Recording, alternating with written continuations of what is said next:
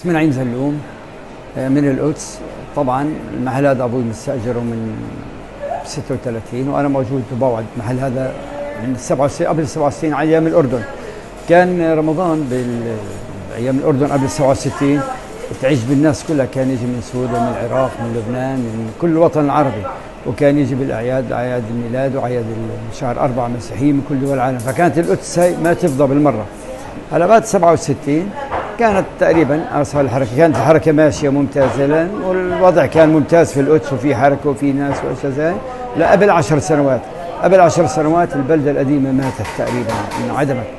آه انعدمت بشكل كبير كبير يعني وخفت الناس بشكل كبير. بتجيش الناس برمضان على القدس إلا ب يعني بأيام جمعة وبيجي من الشمال تقريبا يوم خميس جمعة سبت تقريبا. فبعبوا القدس تقريبا أما باقي الأيام رمضان وغير رمضان من عشر سنوات ضعيفة ضعيفة بشكل على بالنسبة للحركة التجارية اللي بتاجروا أو اللي عندهم محلات احذيه أو أواعي شغلات زي هاي الوضع الاقتصادي سيء معهم ليش؟ صار بيع على الإي بي، صار بيع على الفيسبوك، صار بيع على الإنترنت على الإنترنت وصار توصيل للبيت فضعفت الحركة التجارية بشكل وانشلت موضوع القدس. الحركة بتكون في رمضان حاليا بالأيام هاي خميس جمعة سبت بيجي من الشمال وأيام جمعة بيجي. بصير فيها يعني بالفترة هاي يعني أما باقي الأيام بتكون الوضع صعب أو الحركة ضعيفة كثير بشكل عام يعني.